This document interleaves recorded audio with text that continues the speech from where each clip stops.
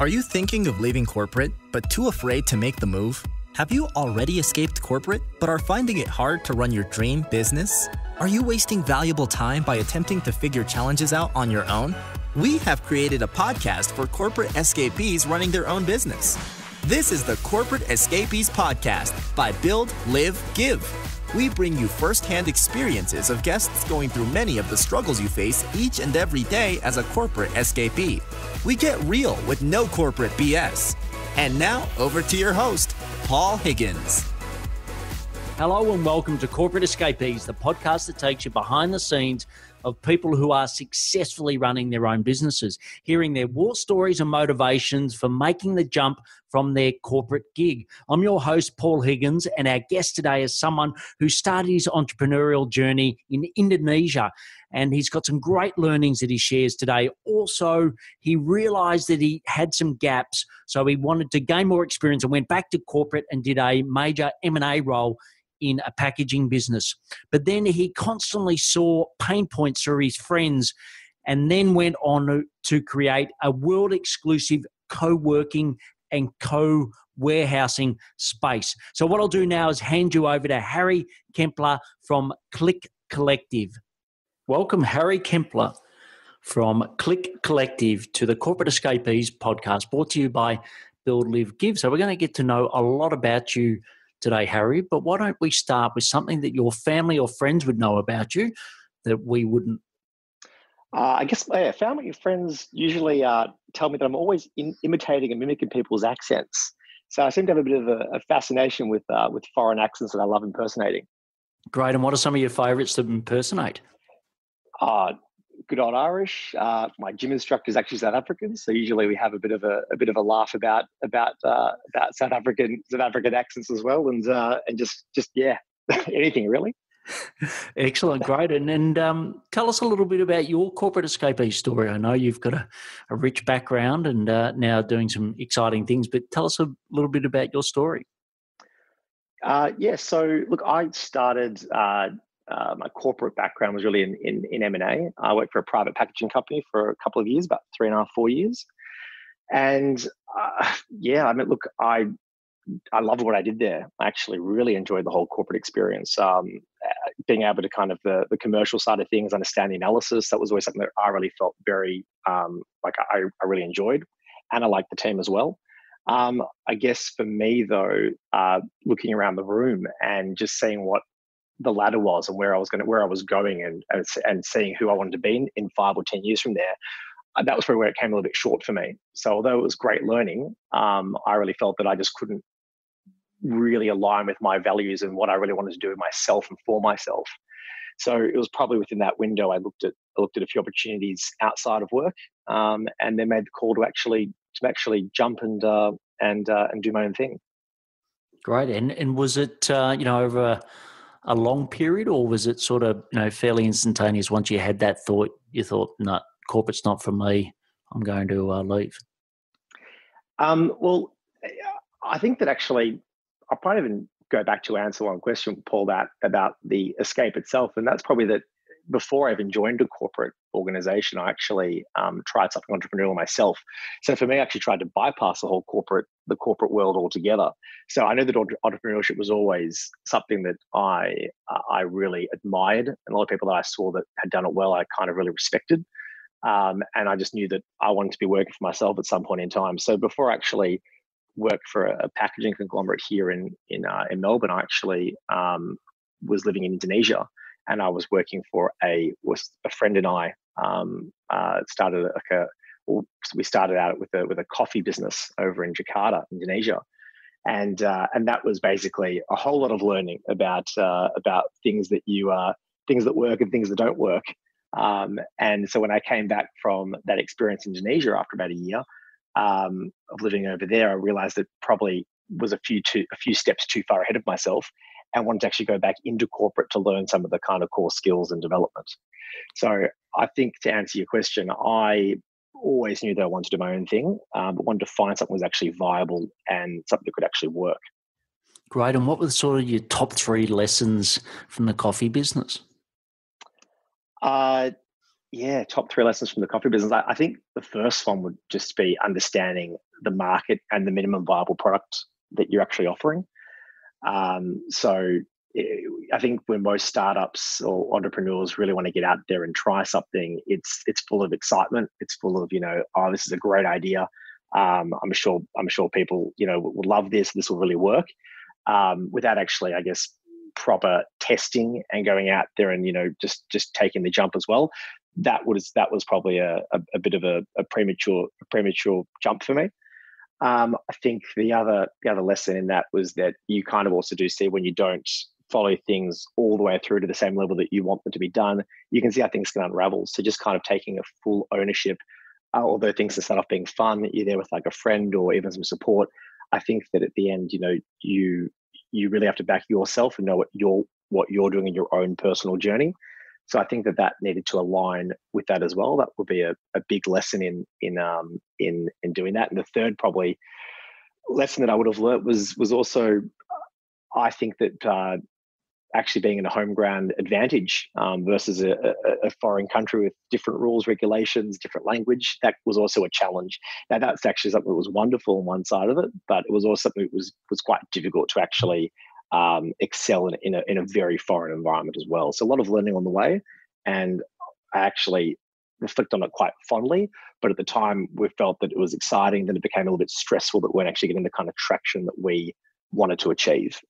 Great. And when you first, you know, left the the uh, packaging business, uh, like you said, you had a fantastic career, but you knew it wasn't for you. What were some of the key fears that you were facing when you first took that step outside of corporate again? I suppose um, into small business, given some of the the uh, challenges you had in Indonesia.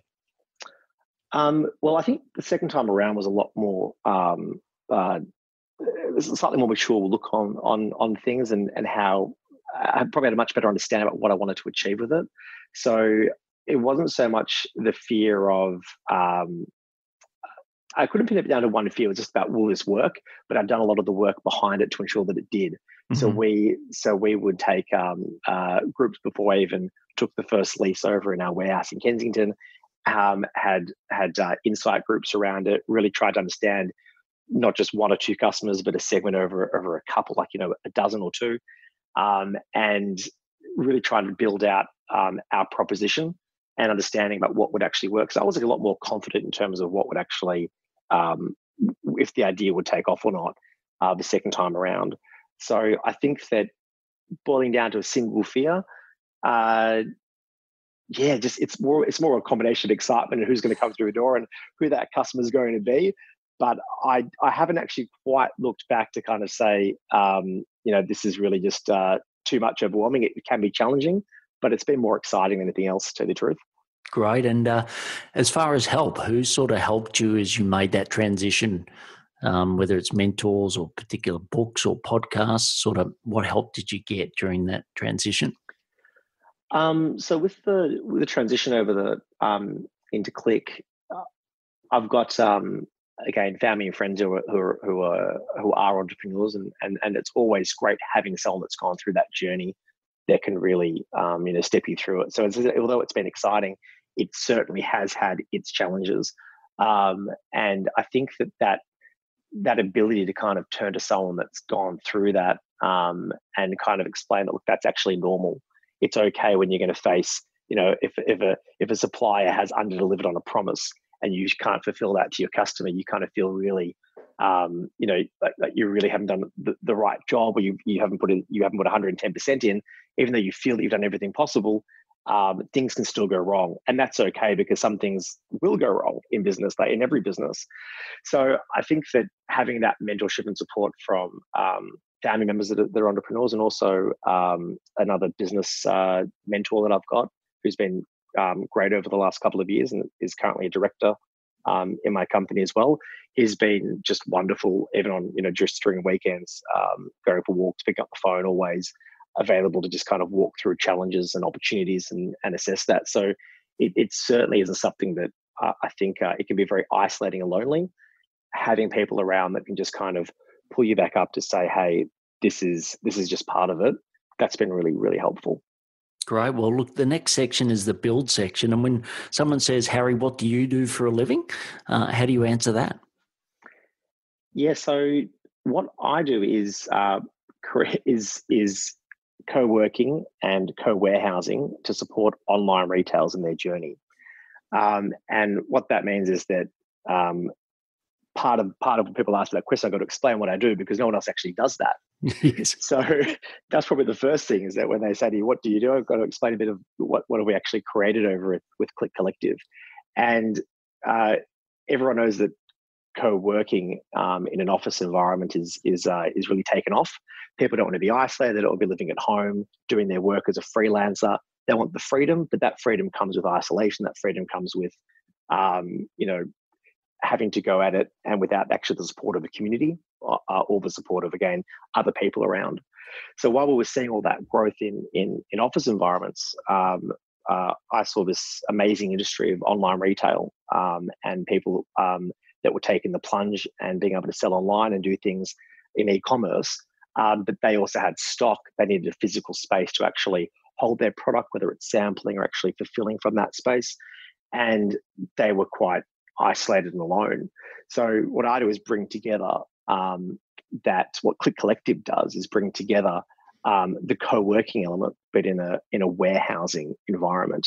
Um, so we provide warehouse units as well as office spaces, but also provide um, workshops and and, uh, and, and, a, and a community around what everyone is doing, and uh, and that that's what I do is bring together that element for online retailers wanting to be in a community, a community, a shared environment for warehousing and offices.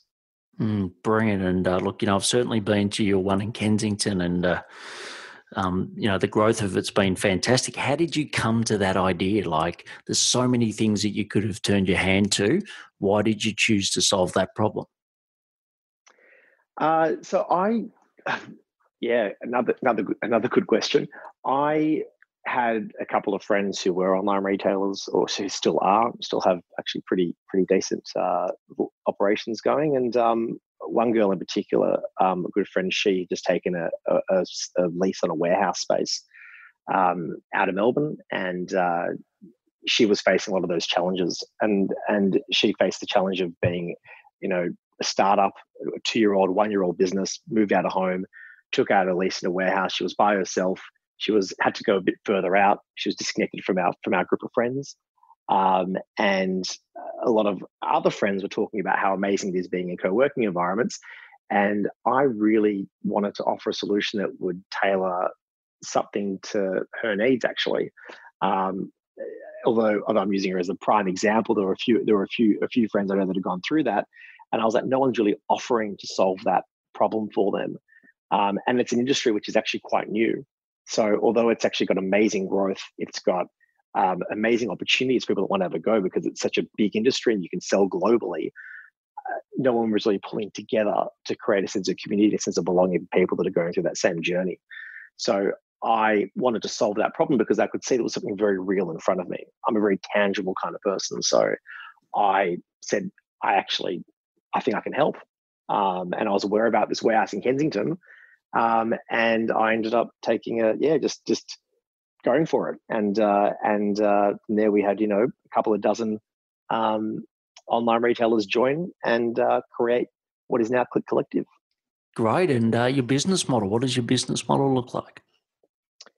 So our business model is uh, essentially it's it's it's sub licensing areas of space. So we will take out large areas, put in the work to subdivide it, create the create the both the environment as well as the as well as the functionality which is needed for these guys to fill their to fill their fulfillment or their operations. Like it might be a loading dock, um, goods um, goods moving equipment, all that kind of stuff, and we just sub-license it at a higher price to what we actually lease out at. So it's that it's that value add between wholesaling of of, of space and and uh, and retailing. Um, and then in addition to that, we've got um, strong corporate partnerships, um, particularly with Australia Post, um, who have provided incredible support through um, combining all of our all of our like logistics spends together, so we can offer really advantageous pricing to our members, um, and we give them an extra benefit and service for that as well. Um, so there's a couple of layers of service that we offer in addition to the actual space itself. Great. And as far as, um, you know, I'm not aware of anyone else like with a concept like this in Australia or in the world for that matter. Have you seen anybody else doing what you're doing?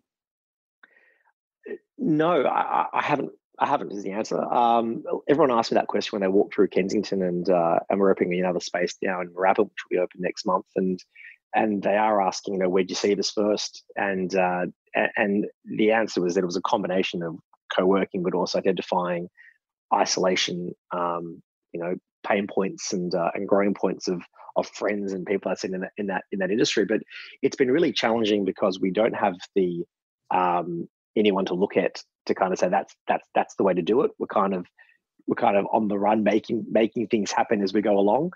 Um, so at the one time, it, it's it's great, you know, in, a, in, a, in, an environment that has got a lot of competition, um, but at the same time, it's also quite challenging because you've got to you've got to be that that provider that is actually finding the way forward.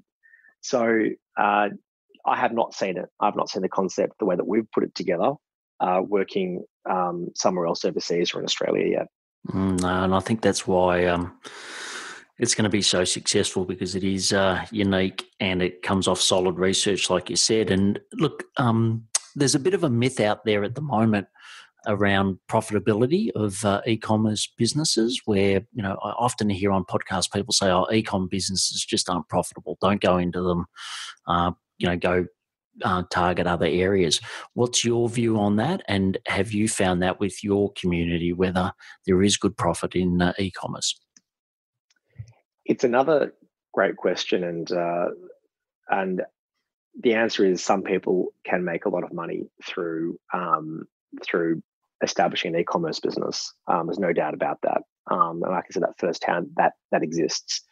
The other thing probably to I think note is that this can also be a lifestyle for people. I mean, small business owners don't necessarily always get into get into a business in order to um, to have you know hugely global ambitions to kind of take over the world in five years. Like you see a lot of people on their on their um, on their presentations of what they're going to do in the future, next five and ten years down the track.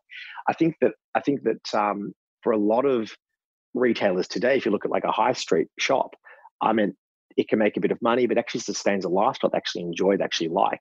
Mm. So people that like to create something, make something, sell something. Um, it's just that they've always ex- that that that's always existed.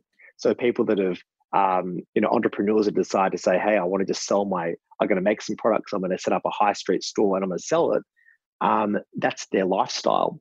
So not necessarily doing it 100% just because they want to make a ton of money. Obviously, everyone wants to make money. Uh, it's got to be profitable, um, but you know, it also can sustain their lifestyle. So um, I think that in some of the areas of, that I've seen um, online retailers be successful. Some have actually made you know a lot of money, and others actually it's fulfilling their life ambitions in order to be a maker, creator, seller, and they love the industry what they do. Mm, yeah, great. And uh, as far as profitability, um, you know, have you gone about improving the profitability of CLIK Collective? Well, apart from the space, obviously, just um, the the wholesaling and, and subleasing uh, model, um, which is our bread and butter, it's the additional services and corporate partnerships in, in front of that as well. So again, um, with the Australia Post example, it's being able to add value to people's actual P and and what they spend in their logistics, and how we can actually um, really help them out in that in that aspect, and and, and CLIK Collective as well. Um, so probably the first one was corporate partnerships and the next one would be just efficiencies just understanding what really how we can operate you know leanly um, but also provide a great service Great, and uh, I know there's a lot of people that would love to have a, a partnership like Australia Post. Um, I think you know it's great that you've got that. Just give us a bit of an insight as to how that came about. Like what what did you learn from that experience that other people could uh, take from?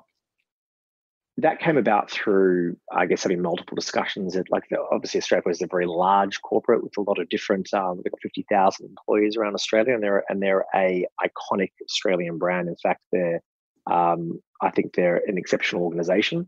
but at the same time, they've, they've been faced with a lot of challenges of a changing industry. Um, in the last decade, they've gone from a letter business to a parcel business. So they're also trying to um, create services which they weren't designed to create. So although they're 200 years old, they're actually, in, in essence, most of their business is actually less than a decade old in terms of what mm. they're actually selling and fulfilling. Um, so we were speaking with the um, innovation team just around some of those challenges and uh, and just through that ongoing dialogue. Um, uh, you know, our journey, we saw a lot of similarities, and they really want to be able to support um, small businesses, but they also don't cater to that. They're being a corporate, it can be difficult um, to give the attention and the and the service um, to all these startups and small business operators. So having someone that actually can help aggregate and put them into a single location, um, we were able to say, look, why don't we join forces to kind of offer that service and help people out in that way as well. And so that really aligned with their thinking. Um, and from and from there, we just established a, um, a partnership out of it. Okay, great. And uh, your team, how big is your team? Uh, so we have five people in the team now. Uh, it's a pretty um, tight team, and that's over two locations. Um, Ken's obviously been there for a couple of years, and we're up starting uh, next month. Uh, and yeah, so it's a team of five. Great. And what have been some of the biggest learnings for you having your own team versus being of a team member in corporate? yeah, so that another excellent question. Um, we are we're, we're a young business as well, like a lot of our customers are, and I think finding people's strengths and uh, and actually managing people uh, has been probably a, a, a, very big learning curve for me. Um, but something which actually I've really enjoyed at the same time as well. So I think like any any new company, new employees, you're kind of a problem solving um, in an industry and market which is evolving um, as well as adapting people who are new themselves, and identifying their skills and how that can come together. So how do you kind of manage that growth, identify roles, responsibilities, and and you're wearing many hats in the beginning as well. So we're looking for kind of you know people that can people that are comfortable with change around them, people that are comfortable doing you know multitasking um, and everything from whether it's a a bit of a, a, bit of a sales conversion type of role to actually uh, community engagement or a workshop or something that can actually be helpful and useful around the warehouse. So we're always um, so trying to pull that together um, has been a challenge in itself, but it's been it's it's been really rewarding at the same time. Great. And do you use any particular way of assessing people's ability to to handle change? Is um, you know that part of the interview process, or have you got other um, diagnostics that you use? Um, uh, look, it's probably not as scientific as the diagnostics and the uh, and, and, the skills. To be honest, uh, it's really just sitting down with people and meeting them a couple of times, going through their CV, their experience, seeing if they're if they're um, uh, you know what they can bring to the table and how they kind of fit in with it. I wish I could give you a, a great scientific answer behind it, um, but I think that in reality, it's it's uh, it's it's been a little bit less um, a little bit more about about a gut feel as well as reviewing obviously references and and your CV and the, and the standard stuff. Um, that's been that's been um, the approach to date. Sure. And uh, what are some of the biggest challenges that you face right now? I believe you're about to open a, another centre, so you must uh, have a lot on your plate. But what are some of the biggest challenges that, uh, you face at the moment? Yeah, I haven't slept for the last probably two months, Paul. It's been uh, it's been a very uh, very busy busy period um, setting up for the new the new location. Um, so the challenge has been really pulling it together from project management to literally marketing to um, how we can actually grow our community from one part of town to the other. Um, it's been pulling together every single aspect of that. Biggest challenge has been um, my time actually just to be able to actually uh, attend to everything at the same amount of care that I'd like to. Um, I just find that's been that's been very difficult at the moment. Mm, and is there any suggestions on how to do that? Like what what's worked for you well in in um, you know, preserving time or or getting the best out of your time? Uh, well, that's uh, probably um, through the team being able to trust who I'm working with, that they can also deliver on the aspects that once we can't attend to everything 100%, um, we, we know we can rely on each other. So I think that that, that biggest um, support has been amongst the team. Look, can you please handle this and deal with it and come back together and see how we're going? So really, that's been the only way to deal with that is just through having um, you know an establishment of trust amongst your team. That's the only way to deal with the time issue. Well, before we go into the next section, I'd like to mention our first corporate event called Corporate Escapees, and it'll be in Melbourne in Harry's new facility, which is uh, CLIK Collective. It'll be on the 19th of September, and it's from uh, 6.15 p.m. to around 9 and uh, Harry's got a, a, fantastic space there. So I strongly recommend you come down and look at it, both from a co-working point of view and also from a, a co-warehousing. But also we'll have three brilliant corporate escapees, one being Harry, talking further about their journey and also helping our community, the people that uh, turn up to remove any blocks that they've had. And as Harry said before, you know, turning to friends and family that have been there and, done that is so important. So uh, we'd love to have you uh, attend. So it's on the 19th of September at 6.15 and uh, you can find out more at buildlivegive.com. So the next section, Harry, is the live section, and just tell us about um, your normal routine. I know at the moment things are a little crazy, but tell us a little bit about the normal routine you've got, all the habits that help you be successful.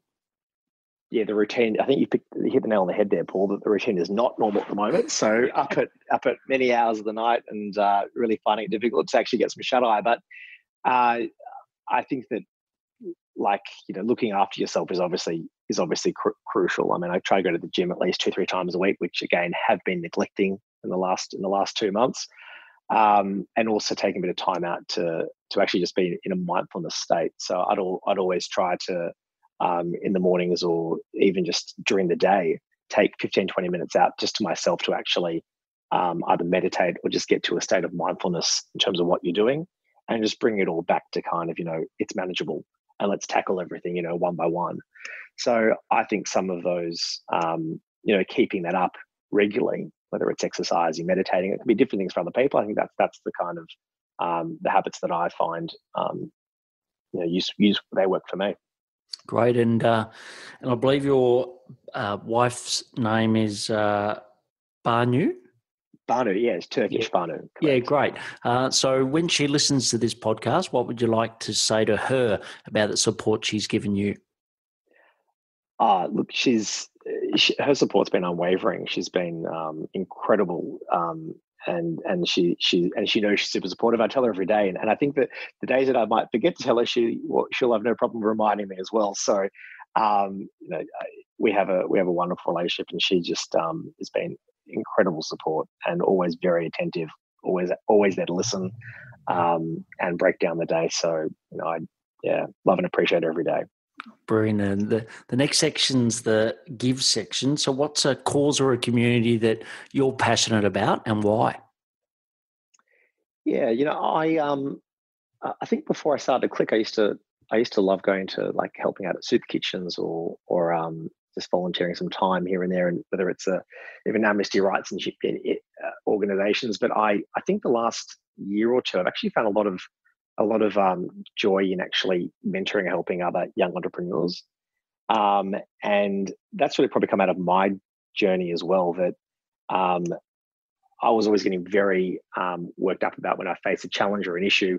You know, it always feels like it's such a big you know why is happening to why is this why has this gone wrong or how has it happened and having this as someone that can really kind of sit down and say, look, this is normal. This is how to get through with it. It's actually not not the end of the world.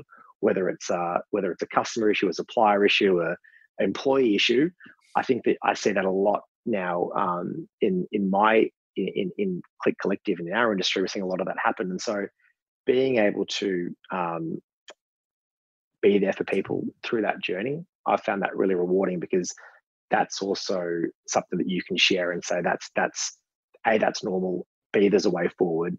And um, you know being there for them for that. I found that very that one-on-one um, interpersonal kind of connections has been has been um, excellent. So i'm very uh, very motivated towards um, mentorship for young entrepreneurs. Great. And the last section is the action section. So, just some questions and some quick rapid fire responses. So the first one is, you know, what are your top three productivity tips? To do lists, very big on to do lists. I uh, write them and add to them all the time um, and make sure I'm kind of ticking them off. Write down your goals. I think that that's really helpful. Um, always keeping the bigger picture in mind. Um, so being able to just pull yourself out if you're getting kind of getting stuck into somewhere and just just trying to understand what the bigger picture and the goal and the outcome is. And the third one would be knowing how to delegate and outsource. What are the tasks that really you're just going to, I'm going to be inefficient at, or won't be able to do at the same level, and trusting the team that, hey, this is where I need that support. This is what we need to deliver. Understanding of when and how to delegate. Great. And uh, some favorite apps or software that you use to help you run CLIK Collective? Yeah, so we run uh, Slack has probably um, been absolute lifesaver for us, just in terms of community uh, communication. Um, that's been that's been great. We use Xero's just great software. Again, um, love using that for all of our you know accounting and uh, integration, and and Trello has been really good as well for our um, for projects and for uh, even sales leads. Great, and some uh, uh, a podcast or a book that you'd love to recommend and why. So uh, this year I've read *Sapiens* and currently reading a book called *Homo Deus*, which is um, which are excellent books, which is really about the uh, um, it, it's about the formation of I guess I guess humanity and how we've evolved and why we why we accelerated as as, as humankind over the last ten thousand years versus the last hundreds of thousands of years. So I really recommend those books. That's not really not really a, a business book at all, but I've just I've just really enjoyed Homo Deus. Um, podcasts, I always I, love listening to like kind of TEDMED and BBC profiles. So TEDMED, um, very into things around longevity and aging. I find them I find those topics to be fascinating and, and recommend picking up um, or reading through some of those pod, some of those podcasts.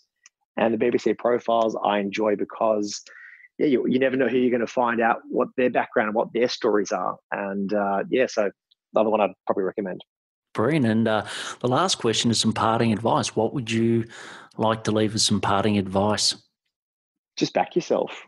Um, strongly, yeah, I strongly suggest proving you've got a minimal viable product. That if you know that it can, if you get, if you're getting that feedback, you know it can work. Jump in with both feet, never go. Brilliant. Well, uh, look, you can find uh, all the links will be in the show notes, and you can also find out about Harry and CLIK Collective. So it's C L I K Collective, so uh, only one C uh, at uh, clikcollective.com.au.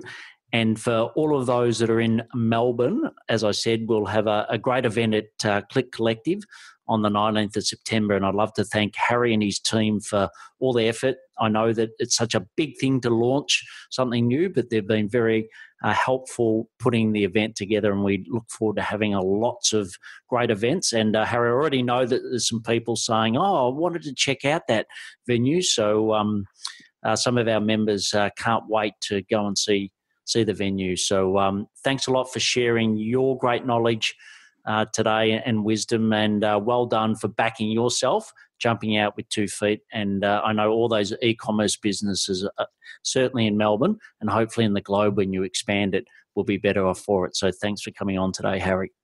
Oh, thanks so much for having me here, Paul. Really, really loved it. Cheers. Cheers.